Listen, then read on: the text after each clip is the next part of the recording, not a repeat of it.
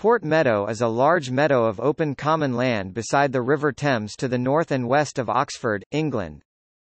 The meadow is an ancient area of grazing land, still used for horses and cattle, and according to legend has never been ploughed, at least for around 4,000 years. It is said that in return for helping to defend the kingdom against the marauding Danes, the freemen of Oxford were given the 300 acres 120 hectares of pasture next to the River Thames by Alfred the Great who, legend has it, founded the city in the 10th century although Alfred actually died in the 9th century. The freemen's collective right to graze their animals free of charge is recorded in the Domesday Book of 1086 and has been exercised ever since. The meadow runs from Jericho to Wolvercote where north of the Shiplake Ditch it becomes Wolvercote Common along the east left bank of the River Thames, with the Cotswold Line Railway, the Oxford Canal and the suburb of North Oxford further to the east, and the village of Binsey to the west. Access to Port Meadow is via Walton Well Road or Aristotle Lane in the south or from the south via Roger Dudman Way or the Thames Path or from Godstow Road, Wolvercote via Wolvercote Common in the north. It is a typical English flood meadow and is a favourite area for walking, with easy access from the city of Oxford. It is also a site of special scientific interest. At the southern end of the meadow is Fiddler's Island in the River Thames. In the winter the meadow sometimes floods, if frozen it forms a huge and relatively safe area for skating. In late spring vast areas are carpeted with buttercups. Horses, cattle and geese graze the meadow and many birds can often be seen.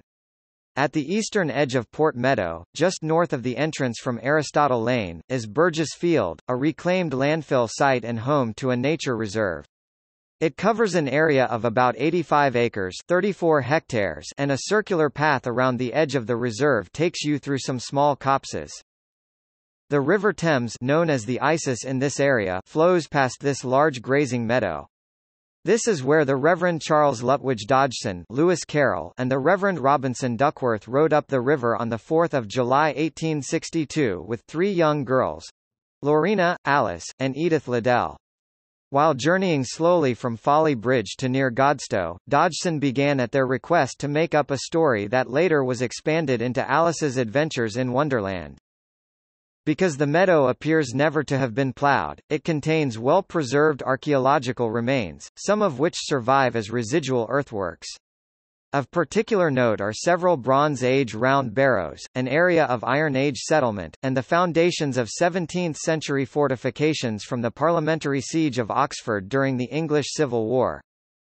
In the 17th and 18th centuries the meadow was used for horse racing, and low stone bridges laid over washes and ditches for this purpose still survive. During the First World War part of Port Meadow was used to train the Royal Flying Corps and turned into a military aerodrome.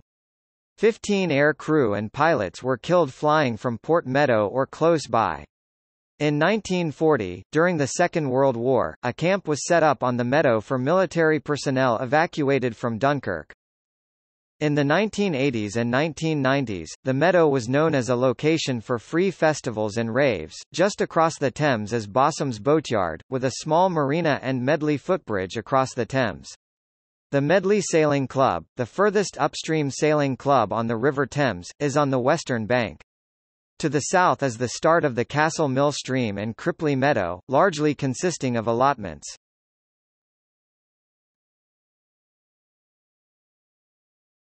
Topic: Development.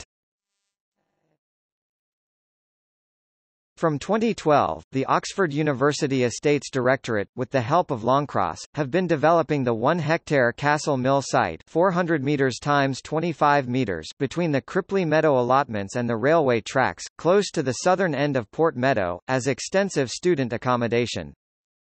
The development has been controversial, since the four to five-story blocks overlook Port Meadow. Campaigners have warned of damage to views of Oxford. There has been an online petition and a Save Port Meadow campaign was established in December 2012. Concern has been raised by the Oxford Preservation Trust and the Green Party. Anger has been caused even among members of Oxford University. The development has been likened to building a skyscraper beside Stonehenge. In February 2013, Oxford City Council entered negotiations with Oxford University to reduce the height of the buildings by two stories. On 7 May 2013 the Campaign to Protect Rural England applied to the High Court for judicial review of the decision to grant planning permission on the grounds that requirements for a full Environmental Impact Assessment EIA were not met.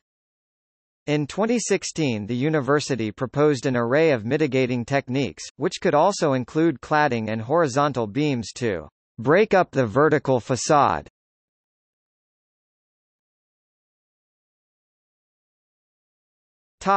See also